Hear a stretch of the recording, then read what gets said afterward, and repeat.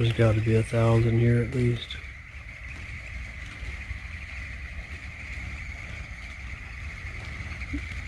Best fertilizer in the world right there.